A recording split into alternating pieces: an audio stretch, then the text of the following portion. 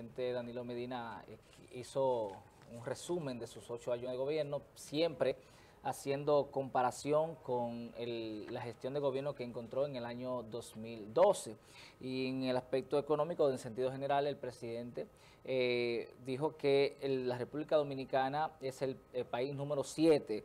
con menos pobreza de América Latina. Entonces, ¿qué quiso significar el presidente? Básicamente apeló a datos estadísticos, los cuales son comprobables y pueden ser comparables de manera perfecta en, estos ocho años con los años eh, anteriores. Con relación al, sector eléctrico, el presidente Danilo Medina se refirió a que un millón de familias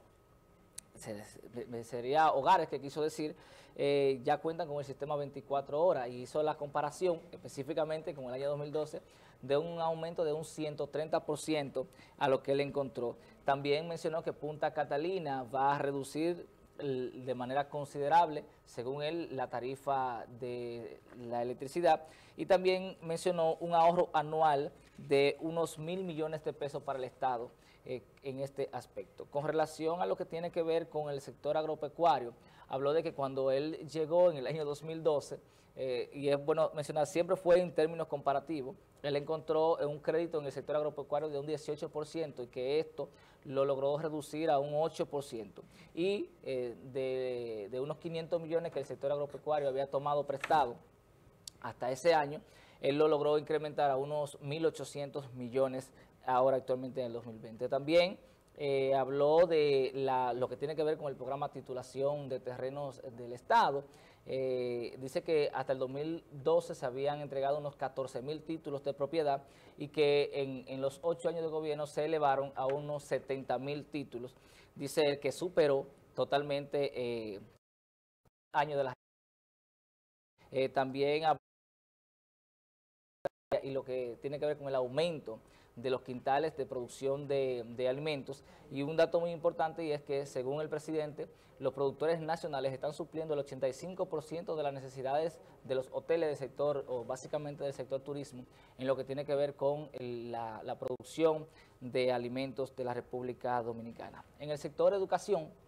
fue muy enfático él en decir que hubo, se ha aumentado la inversión por estudiante de unos 20 mil eh, pesos que encontró en el año 2012, fíjense que siempre fue de manera comparativa, a unos 90 mil que se están invirtiendo ahora eh, por estudiante. Eh, también dijo que encontró unas 33 mil aulas en el año 2012 y que posiblemente al terminar su gestión va a terminar con unas 66 mil, lo que provocaría, según una, una duplicidad, de la cantidad que encontró durante toda la historia republicana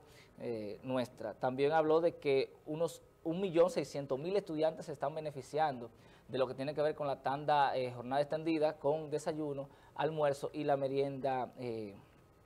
y eh, de manera específica también habló del aumento de los maestros, que dice que en estos ocho años de gobierno se ha aumentado entre un 97% hasta un 103%. En el caso del alfabetismo, es un dato que a mí me, llama mucha suspicacia. dice él que se enseñaron a leer y a escribir a unos 680 mil dominicanos. Y en ese momento, cuando estaba hablando de esta parte, hubo un grito eh, de una persona que no, no se pudo identificar quién es, que dijo, Danilo es la patria misma. Fue un acto eh, lacayo, un acto de genuflexión por parte de la persona que lo gritó. Eh, por tanto, eh, no es un acto realmente ni electoral, ni tampoco de agradecerle a un presidente la gestión que haya hecho o no por un, por un país, sino porque está realmente constitucionalmente obligado a cumplir con la función para, para la cual fue elegido durante esos ocho años.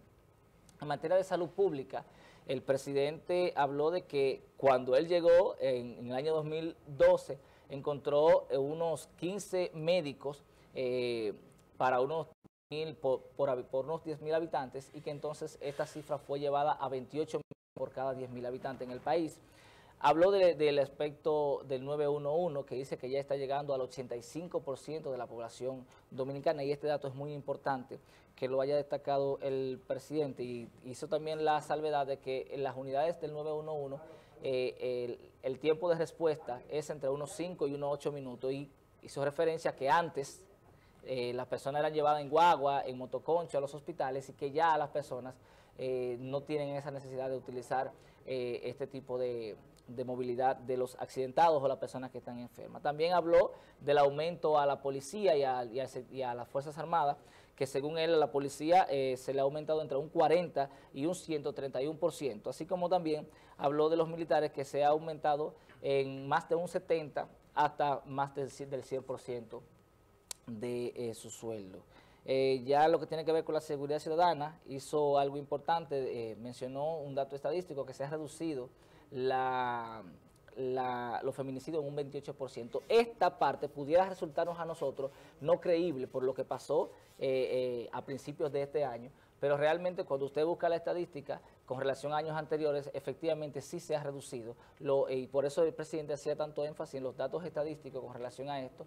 para que la gente pudiera hacer las comparaciones de los años anteriores. Roberto Santos, el presidente habla de un cambio que debe ser resaltado en mayúscula. Permíteme enumerar